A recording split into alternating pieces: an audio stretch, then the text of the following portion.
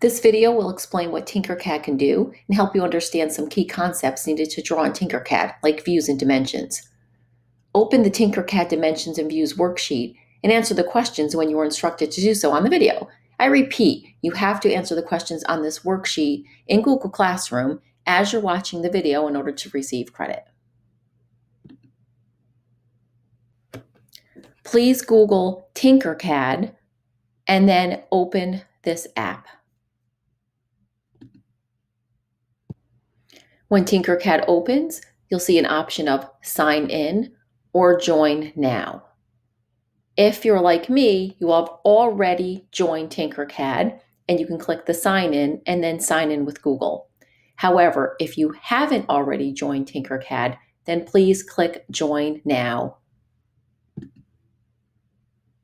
Once you clicked join now, you're going to click create personal account.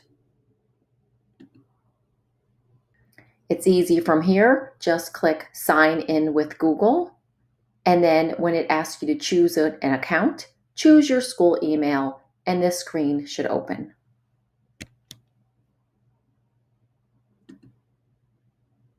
Tinkercad is free and can be used on your Chromebook. There are other 3D drawing programs that are free or some that you have to pay for. Some examples are SketchUp, Autodesk Inventor, and Fusion 360, just to name a few. Here you can see some of my simple 3D drawings in Tinkercad. Some important concepts to understand when using Tinkercad are dimensions and views. Let's first talk about dimensions. When you think about dimensions, ask yourself, what measurements would you need to take in order to fit an object into a space? For example, what measurements would you take to see if a cell phone case fits your phone? First, you need to measure the height of your phone case. Then you need to measure the width of your phone case and lastly, you need to measure the depth of your phone case. Looking at the picture of the phone case with its dimensions labels, can you identify the width of this phone? You got it, 3.25 inches. How about the depth of this phone? Yeah, the depth is 0.5 inches. And lastly, could you identify the height of this phone? Write your answer next to number one on Tinkercad dimensions and worksheets and tell me the height of this phone. Again, please don't forget to fill out this Tinkercad dimensions and views worksheet. It might be found in Google Classroom or you might be given a hard copy, whatever your teacher uh, decides to do, but you need to fill it out for full credit. So a three-dimensional objects has three dimensions. Sometimes this is known as 3D D standing for dimensions. So now I just want you to name the dimensions. They're named here on the cube, and I've given one of them. One of them is height. So one of the dimensions that we always measure for is height. What are the other two? Just fill in the blanks. Another important concept in Tinkercad is views. Let's look at the picture of this black die. A die has six sides. In Tinkercad, we call each side a view.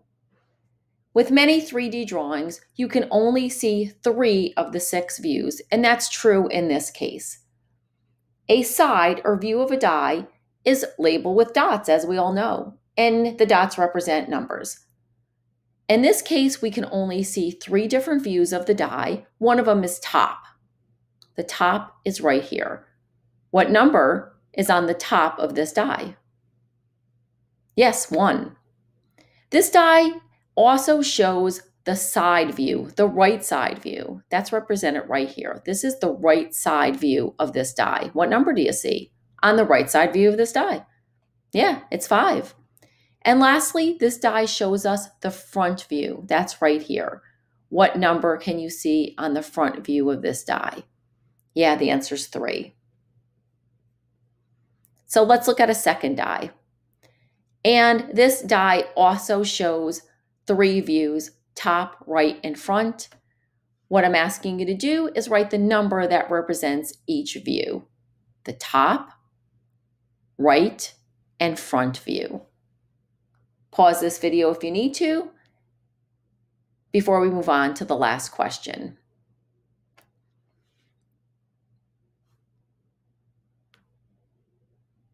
As you can see, both pictures of the dice show three views, top, right, and front. But as you know, a real die actually has six sides or six views. I bet you can figure out the other three. Let's just think it through. We know there's a top view, so there must be an opposite view. What's the opposite of top?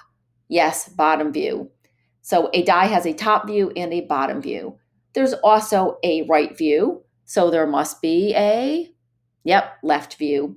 And lastly, there's a front view, so of course there must be a, yes, of course, back view. So on your worksheet, on number four, please name the six views. One of them is top, you just need to fill in the other five. And of course, turn in this worksheet at the end to receive full credit for your work.